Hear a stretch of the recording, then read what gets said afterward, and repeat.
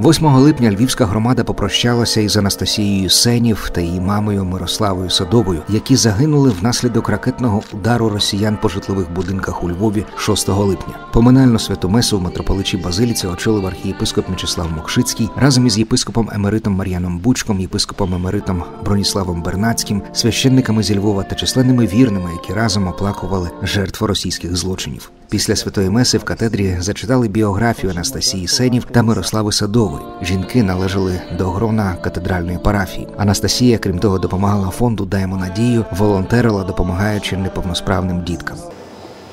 через браму відхлані, звідки немає вороття до земного світу, переступили мама і дочка, з якими сьогодні прощаємося.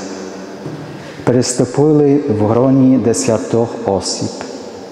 Всіх їх згадуємо і за усіх молимося. А молимося тому, що понад владою відхлані є хтось сильніший, хтось, хто поламав ворота Шеолу і вивів з нього до країни життя і світла, миру і добра усіх тих, хто до нього належить.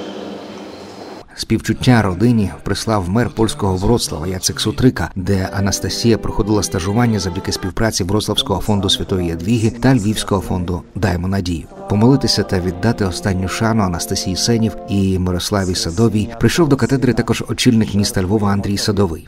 Поховали Анастасію та Мирославу на Голосівському цвинтарі. Нагадаю, що внаслідок ракетного удару росіян по житловому будинку у Львові 6 липня загинуло 10 людей, ще 48 отримали травми та поранення різної важкості. Це було найбільше бомбардування Львова від початку повномасштабної війни. Прощаємо, прощаємося з померлими Мирославою Анастазією.